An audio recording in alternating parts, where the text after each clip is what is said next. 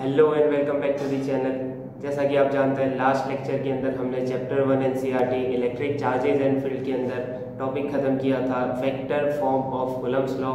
तो ये लेक्चर में हम लोग उसके आगे जो नेक्स्ट टॉपिक है उसको कंटिन्यू करेंगे आज का आपका टॉपिक होने वाला है electric field and electric field lines तो नोटबुक और पेन लेके बैठ जाइए और साथ साथ में आप लोग नोट्स बना सकते हैं ठीक है तो चलिए शुरू करते हैं नेक्स्ट टॉपिक है आपका इलेक्ट्रिक फील्ड तो सबसे पहले ये समझ लें कि इलेक्ट्रिक फील्ड क्या है व्हाट इज इलेक्ट्रिक फील्ड तो जैसा कि आप लोग जानते हैं कि चैप्टर नंबर एट जो था आपका स्टैंडर्ड इलेवन के अंदर ग्रेविटेशनल फील्ड ग्रेविटेशनल फील्ड क्या होता था कि अर्थ है अर्थ के अराउंड एक इमेजिनरी फील्ड होता है जिसके अंदर अगर कोई दूसरा पार्टिकल आ जाए जिसके पास खुद का मास होता है तो अर्थ उसको क्या करता था कि अट्रैक्ट करता था ठीक है जैसे कि अर्थ हो गया उसके अराउंड कोई मास जैसे कि ये पेन हो गया अभी ये अर्थ के ग्रेविटेशनल फील्ड के अंदर है क्या है वो फील्ड के अंदर अभी हमें दिखाई नहीं देगा कि फील्ड है पर अगर हम हम लोग इसको छोड़ेंगे तो वो क्या होगा अर्थ की तरफ अट्रैक्ट होगा तो इसका मतलब ये हुआ कि अर्थ के अराउंड कुछ एरिया तक कुछ एरिया तक क्या होगा कि उसका खुद का कोई फील्ड होता है जिसको क्या बोलते हैं हम लोग ग्रेविटेशनल फील्ड क्या बोलते हैं जिसको ग्रेविटेशनल फील्ड तो उसी तरह अगर हम लोग चार्ज की बात करें मान लो कि आपके पास एक चार्ज है मान लो कि आपका ये चार्ज है प्लस या माइनस कुछ भी ले लो यहाँ पे हम लोग प्लस चार्ज की बात करेंगे मान लो कि ये कैपिटल क्यू चार्ज है ठीक है मान लो कि ये कैपिटल क्यू चार्ज है अभी बुक के अंदर आपको कैसे समझाया है देख ले जैसे कि आपको ये बोला है कि ये मान लो कि आपके पास एक चार्ज है इसको बोला है आपने सोर्स चार्ज इसको आपने बोला है सोर्स चार्ज और मान लो कि एक दूसरा छोटा सा आपके पास यहाँ पे एक चार्ज है आर डिस्टेंस के ऊपर स्मॉल आर डिस्टेंस के ऊपर एक स्मॉल क्यू चार्ज है जिसको बोला है टेस्ट चार्ज जिसको क्या बोला है टेस्ट चार्ज बोला ठीक है जैसा कि आप लोग देख पा रहे हो कि हमारा जो सोर्स चार्ज है यानी जिसका इलेक्ट्रिक फील्ड हमें फाइंड करना है वो सोर्स चार्ज पॉजिटिव है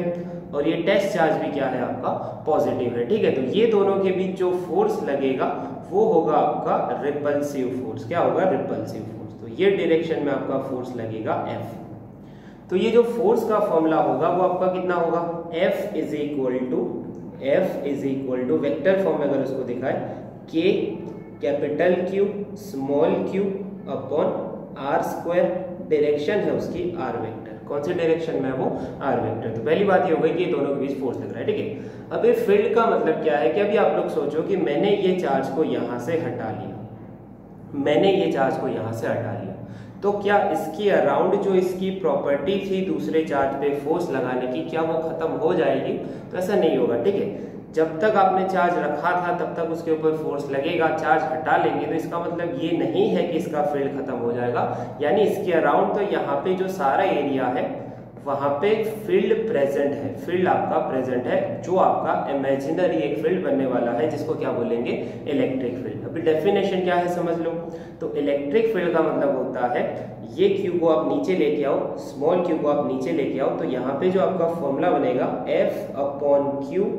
is equal to K Q upon R square तो ये वाला जो टर्म है आपका ये बनेगा आपका इलेक्ट्रिक फील्ड ये क्या बनेगा आपका इलेक्ट्रिक फील्ड तो उसको अलग से अगर हम लोग दिखा दें तो इलेक्ट्रिक फील्ड का जो फॉर्मूला बनेगा E is equal to K Q upon R square R caret की डायरेक्शन यानी आर वेक्टर की डायरेक्शन में तो ये हो गया आपका formula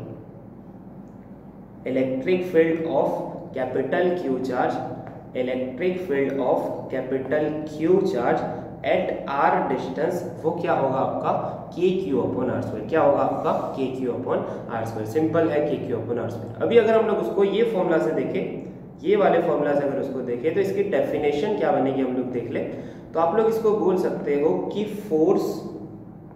इसको आप लोग बोल सकते हो कि फोर्स पर unit positive test charge is called the electric field of a source charge. तो आपको एक बात याद रखनी है कि जो इलेक्ट्रिक फील्ड है वो किसका होने वाला है सोर्स चार्ज का इलेक्ट्रिक फील्ड होगा और जो फोर्स लग रहा है वो किसके ऊपर लगेगा टेस्ट चार्ज पे लगेगा टेस्ट चार्ज क्या है आपका तो टेस्ट चार्ज ये वाला स्मॉल जो टेस्ट चार्ज है आपका स्मॉल क्यू और ये जो कैपिटल क्यू है आपका क्या है सोर चार्ज है क्या है आपका सोर चार्ज है तो सिंपल आपको फॉर्मूला याद रखना है is equal to K Q upon R square और उसके बाद आपको डेफिनेशन याद रखनी है कि force per unit positive discharge is called electric field of sole charge ठीक है चलो उसकी डायरेक्शन आपको अभी समझ में आ रही है कि अगर हम लोग फॉर्मूला में देखें तो यहाँ पे आपको दिख रहा है कि फोर्स की डायरेक्शन है वही आपकी क्या होने वाली है इलेक्ट्रिक फील्ड की डायरेक्शन यानी आप यहाँ पे लिख पा रहे हो यहाँ पे आप लिख पाओगे उसको क्या लिखेंगे इधर direction of the direction of electric field will be in the direction of in the direction of force on a positive test charge test charge को आपको ऑलवेज पॉजिटिव रखना है ये बात याद रखना टेस्ट चार्ज को आपको ऑलवेज पॉजिटिव रखना है तो अगर आपने पॉजिटिव टेस्ट चार्ज लिया है किसी भी चार्ज के अराउंड मान लो कि ये सोर्स चार्ज आपका पॉजिटिव होता या नेगेटिव होता उसके अराउंड आपने टेस्ट चार्ज को लेना है पॉजिटिव टेस्ट चार्ज उसके ऊपर जो डायरेक्शन में फोर्स लगेगा वो क्या बन जाएगा आपका इलेक्ट्रिक फील्ड के डायरेक्शन और वो फील्ड किसका होगा सोर्स चार्ज का होगा किसका होगा सोर्स चार्ज का होगा यानी अगर हम लोग नेगेटिव की बात करें तो अगर हम लोग बात करें अभी फील्ड की डायरेक्शन की अगर हम लोग साथ में बात कर ले तो यहाँ पे क्या होगा तो यहाँ पे अगर हम लोग ये डायरेक्शन की बात करें तो पॉजिटिव अगर हम लोग ले रहे हैं यहाँ पे टेस्ट चार्ज तो पॉजिटिव ही होगा तो उसके ऊपर जो फोर्स लग रहा है इधर तो इसका इलेक्ट्रिक फील्ड भी क्या बनेगा बाहर की तरफ और अगर नेगेटिव चार्ज की बात करें तो वो अगर टेस्ट चार्ज पे फोर्स लगाएगा तो वो कहाँ पे लगाएगा अंदर लगाएगा क्योंकि टेस्ट चार्ज आपका पॉजिटिव है दोनों केसेस में अगर सोर्स चार्ज आपका नेगेटिव है तो वो उसको अट्रैक्ट करेगा अगर सोर्स चार्ज पॉजिटिव है तो उसको रिपेल करेगा तो दोनों केसेस में जो इलेक्ट्रिक फील्ड की आपकी डायरेक्शन बन रही है वो क्या बन रही है अपोजिट क्या बन रही है अपोजिट यानी पॉजिटिव के केस में वो क्या बन रही है आउटवर्ड्स और नेगेटिव के केस में क्या बन रही है वो इनवर्ड्स नेगेटिव के केस में क्या बन रही है वो इनवर्ड्स बन रहे है ठीक है ओके तो ये हो गया आपका फॉर्मूला चलो इसका यूनिट अगर हम लोग लिख लें यूनिट इसका क्या हो जाएगा तो एफ अपॉन क्यू के ऊपर से आप बता सकते हो न्यूटन पर कुलम क्या बन जाएगा न्यूटन पर कुलम उसका यूनिट क्या बन जाएगा न्यूटन पर कुलम ठीक है तो ये हो गया आपका इलेक्ट्रिक फील्ड अब इसके बारे में आपको कुछ कैरेक्टर्स याद रखना है क्वेश्चन ये है what are the characters of electric field तो क्वेश्चन लिख लें हम लोग यहाँ पे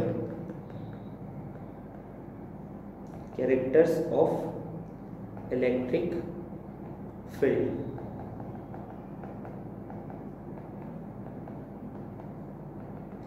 पहला पॉइंट ये है आपका पहला पॉइंट ये है कि आपका जो सोर्स चार्ज है मान लो कि आप सोर्स चार्ज की सुनो अभी इसको ध्यान से समझ लो आपका जो सोर्स चार्ज है कैपिटल क्यू हमें उसका इलेक्ट्रिक फील्ड फाइंड करना है आर डिस्टेंस के ऊपर कहां पे आर डिस्टेंस के ऊपर तो सिंपल बात हमें क्या करना पड़ेगा वहां पे कोई टेस्ट चार्ज को रखना पड़ेगा क्या करना पड़ेगा वहां पे टेस्ट चार्ज को रखना पड़ेगा और वो पर यूनिट टेस्ट चार्ज जितना फोर्स लगेगा वो क्या बन जाएगा आपका इलेक्ट्रिक फील्ड बन जाएगा ठीक है पर यहाँ पे आप देख पा रहे हो कि दोनों के बीच में फोर्सेज लग रहे हैं दोनों के बीच में क्या लग रहा है कोलम्बियन फोर्स लग रहा है अगर टेस्ट चार्ज बड़ा होता तो वो क्या करता कि ये सोर्स चार्ज को भी वो क्या कर देता रिपेल कर देता पॉजिटिव पॉजिटिव के केस में सोर्स चार्ज यहाँ पे स्टेशनरी नहीं रह पाता हमें उससे यार डिस्टेंस पे फाइंड करना है यानी ये चार्ज हमारा क्या रहना चाहिए स्टेशनरी रहना चाहिए अपनी पोजीशन पे पकड़े रहना चाहिए ठीक है वहां पे रुके रहना चाहिए तो हमें क्या करना पड़ेगा कि टेस्ट चार्ज को जितना हो सकता है उतना छोटा लेना पड़ेगा तो पहली बात हम लोग लिख लें कि टेस्ट चार्ज वो पॉजिटिव भी होना चाहिए is always positive and very small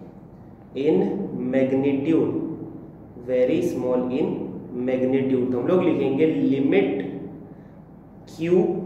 tends to zero हमें q को क्या करना है जितना हो सकता है उतना छोटा रखना है हमें क्या करना है जितना हो सकता है उतना उसको छोटा रखना है समझ में आ रहा है क्यों छोटा रखना है तो हमें कैपिटल की जो हमारा सोर्स चार्ज है उसको स्टेशनरी रखना है उसकी जगह से वो नहीं हिलना चाहिए वरना हमें जो आर डिस्टेंस पे फील्ड फाइंड करना था वो हम लोग नहीं कर पाएंगे अगर वो अपनी जगह पे रह पाएगा तो ही हम लोग आर डिस्टेंस पे फील्ड फाइंड कर पाएंगे तो ये करने के लिए हमें क्या करना पड़ेगा कि जो अपोजिट सामने वाला चार्ज है स्मॉल के उसको क्या करना पड़ेगा जितना हो सकता है उतना छोटा लेना पड़ेगा ठीक है दूसरा point value value of field दूसरा पॉइंट ये होगा कि the value of field the value of electric field does not depend does not depend on the magnitude magnitude of small Q यानी test charge it only depends on its position. आपको ये बोला कि small Q की value कितनी आ, मतलब कुछ भी ले लो वैल्यू चेंज करने से इलेक्ट्रिक फील्ड की वैल्यू में कोई फर्क नहीं पड़ेगा उसका रीजन आप लोग समझ लो कि ई e का जो फॉर्मूला बनता है E is equal to F upon Q यानी यहाँ पे आप देख लो कि अगर हम लोग आपको अभी क्वेश्चन होगा कि क्यू बड़ा करेंगे तो इलेक्ट्रिक फील्ड छोटा क्यों नहीं हो जाएगा इसकी वैल्यू अगर बढ़ाएंगे तो ये कम क्यों नहीं हो जाएगा तो इसका रीजन ये है कि यहाँ पे जो F है here F proportional to Q है यहाँ पे जो आपका फोर्स है चार्ज के डायरेक्टली प्रपोजनल है यानी आप जैसे ही यानी आप जैसे ही क्यूब को इंक्रीज करते हो साथ साथ में फोर्स भी क्या हो जाएगा इंक्रीज हो जाएगा तो दोनों एक दूसरे को बैलेंस आउट कर लेंगे तो ये वैल्यू ऑलवेज क्या रहेगी कांस्टेंट ये वैल्यू ऑलवेज क्या रहेगी कांस्टेंट रहेगी हाँ अगर उसकी पोजीशन चेंज करते हैं तो फिर बात अलग बनेगी अब जब तक उसका मैग्नीट्यूड चेंज करते हैं तब तक इलेक्ट्रिक फील्ड में कोई फर्क नहीं पड़ेगा पोजिशन चेंज करने पर फर्क पड़ेगा क्योंकि उसका दूसरा फॉर्मूला क्या है इलेक्ट्रिक फील्ड का K Q upon R square कितने डिस्टेंस पे फाइंड कर रहे हो अगर डिस्टेंस ज़्यादा कम करेंगे तो इलेक्ट्रिक फील्ड भी ज़्यादा कम होगा पर उसकी वैल्यू यानी ये जो स्मॉल क्यू चार्ज है उसकी वैल्यू चेंज करने से कोई भी आपका इलेक्ट्रिक फील्ड में फ़र्क नहीं पड़ेगा ठीक है तो ये हो गया आपका पॉइंट तो क्या था इसके अंदर तो इलेक्ट्रिक फील्ड जो है आपका स्मॉल क्यू चार्ज की वैल्यू पर डिपेंड नहीं करता उसकी पोजिशन पर डिपेंड करता है ठीक है तो तीसरा पॉइंट हम लोग लिख लें उसके बाद नेक्स्ट पॉइंट क्या है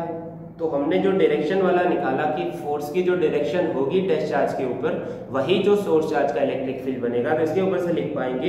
कि direction of direction of electric field of a positive charge positive source charge is radially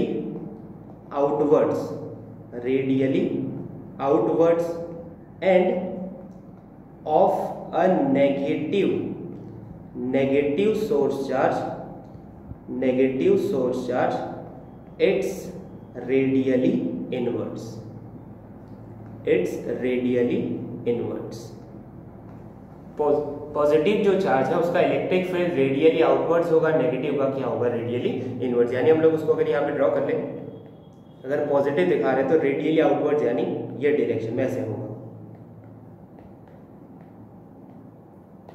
radially outwards और नेगेटिव का कैसे होगा तो इस तरह से होगा रेडियली इनवर्ड्स बस इतने पॉइंट्स आपको याद रखने होंगे ठीक है तो ये हो गया आपका इलेक्ट्रिक फील्ड सिंपल है force per unit charge is known as electric field of source charge simple बात है ठीक है फॉर्मला आपको याद रखना चलिए इसके बाद का क्या टॉपिक है characteristics of electric field lines electric field lines की कैरेक्टर्स क्या है और इलेक्ट्रिक फील्ड लाइन्स है क्या सबसे पहले वो समझ लें तो इलेक्ट्रिक फील्ड लाइंस क्या है तो सबसे पहले क्या है तो सुन लो electric field lines electric field lines are used to show the presence presence of electric field कहीं पे भी अगर इलेक्ट्रिक फील्ड प्रेजेंट है तो उसकी प्रेजेंस दिखाने के लिए हमें क्या ड्रॉ करना पड़ेगा इलेक्ट्रिक फील्ड लाइंस को ड्रॉ करना पड़ेगा क्या करना पड़ेगा इलेक्ट्रिक फील्ड लाइंस को ड्रॉ करना पड़ेगा ठीक है तो उसको कैसे ड्रॉ करते हैं समझ लो पॉजिटिव के केस में हम लोग क्या करते हैं हमने पहले उसको ड्रॉ किया अभी जस्ट पहले वाली थियोरी में तो उसको हम लोग ऐसे ड्रॉ करते हैं पॉजिटिव के केस में वो radially outwards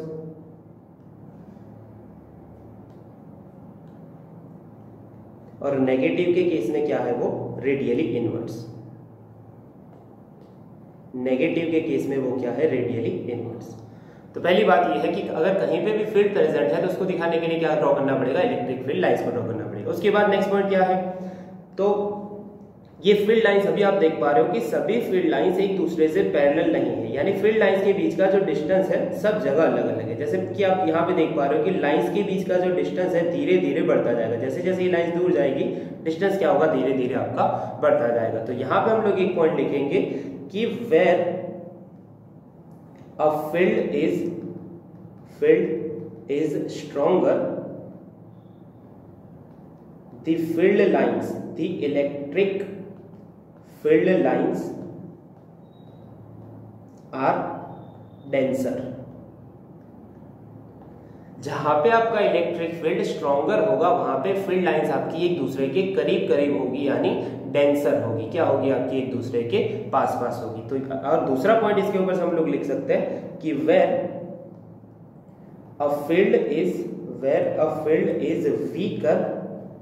weaker field lines field lines are far apart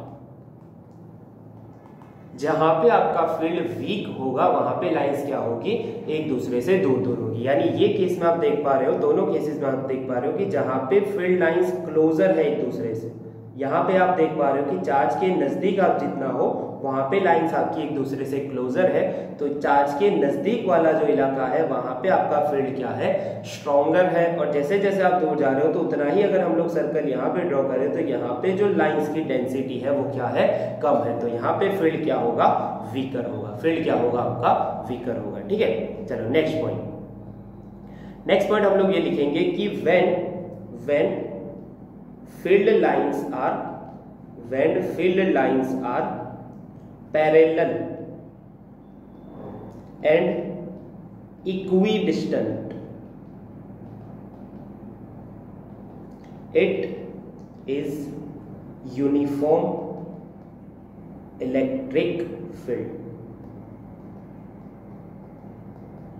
जहां पे आपकी फील्ड लाइंस एक दूसरे से पैरेलल है और इक्वल डिस्टेंस यानी सेम डिस्टेंस पे है सभी लाइन एक दूसरे से तो वो फील्ड आपका क्या बनेगा यूनिफॉर्म इलेक्ट्रिक फील्ड यानी यूनिफॉर्म इलेक्ट्रिक फील्ड ऐसा बनेगा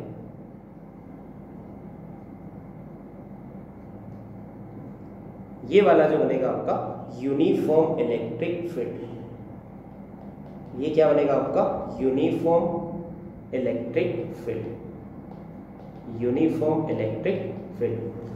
तो जहाँ पे पास पास टेंसर है वहाँ पे फील्ड स्ट्रॉगर दूर दूर है वहाँ पे फील्ड वीकर पर वो केस में भी अगर एक दूसरे से इक्वी डिस्टेंस है इक्वी डिस्टेंट है और पैरेलल है तो वो क्या बनेगा आपका यूनिफॉर्म इलेक्ट्रिक फील्ड बनेगा ठीक है तो ये हो गया आपका एक point next point for a single positive charge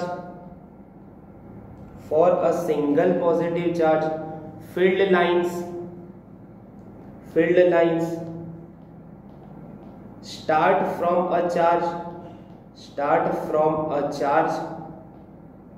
and terminate terminate at infinite यानी सिंगल पॉजिटिव चार्ज की बात करें तो वहां पे हम लोग बोल पाएंगे हाँ, हम लोग बोल सकते हैं कि जो फील्ड लाइंस है पॉजिटिव से निकलती है पर वो कहाँ पे जाके रुकेगी हमें नहीं पता तो हम लोग क्या बोलेंगे कि वो इन्फाइनाइट जाके इन्फाइनाइट डिस्टेंस पे टर्मिनेट हो रही है इन्फाइनाइट तक वो जा रही है ठीक है यानी ये जो लाइन है आपकी इन्फाइनाइट पे जाके रुकेगी ऐसा हम लोग बोलेंगे सिंगल पॉजिटिव चार्ज के लिए ठीक है और उसी तरह अगर हम लोग सिंगल नेगेटिव चार्ज की बात करें for a single negative charge field lines field lines start from infinite start from infinite and terminate terminate